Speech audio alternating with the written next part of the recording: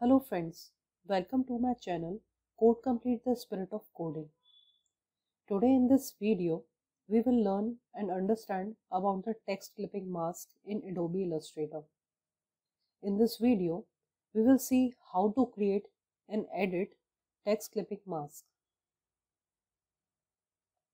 To create a text clipping mask in Adobe Illustrator, first we need to import an image on the workspace. You can import an image by dragging and dropping an image file on the workspace or go to the menu bar and select file option and click on place. In place dialog box, navigate to the folder and highlight the image you want to import. Now click on place button.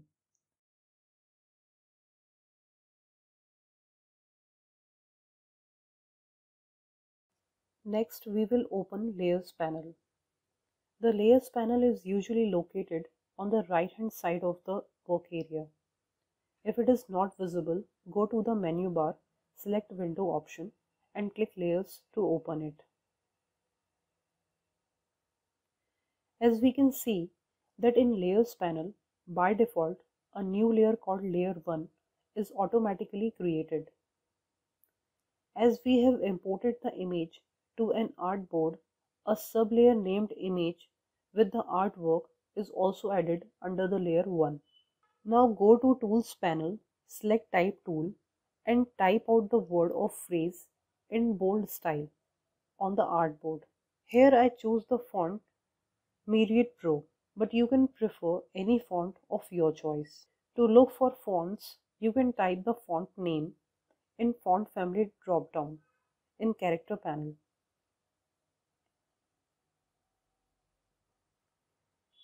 In this scenario, the text is a clipping path. As we can see that in layers panel, text sublayer is created. It is important to note that clipping path and artwork should be under the same layer group. So in this case, the pebbles sublayer, which is a clipping path, and the image, which is the artwork, is under the same layer group. That is layer 1. Next, move the text directly over the artwork and adjust it to cover the area of the art which is going to be marked. Finally, we will select both the objects that is text and image. After selecting both the objects, right click on the mouse, select make clipping mask. It is important to note that we didn't convert the text into outlines yet. That's why at this point we can't edit the shape of the text. Secondly, after making the clipping mask, we can add more text to clipping mask. If we add the text to it by selecting the type tool from the tools panel, then the added text automatically gets converted into clipping mask.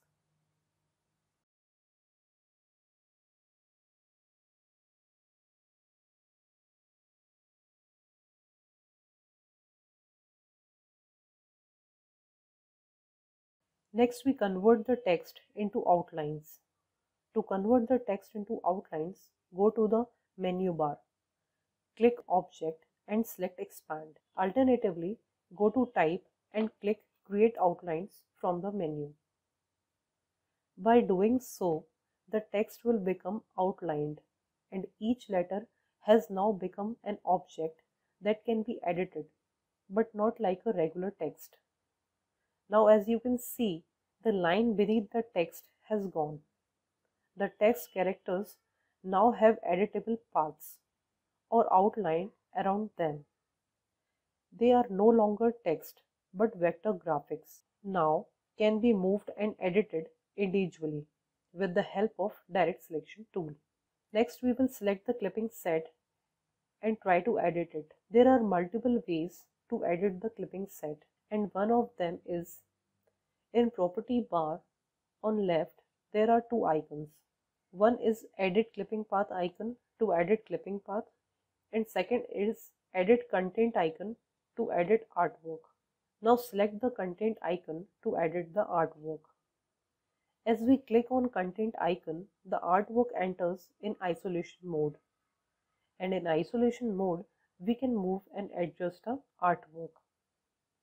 Same way we can edit the clipping path by selecting the clipping path icon.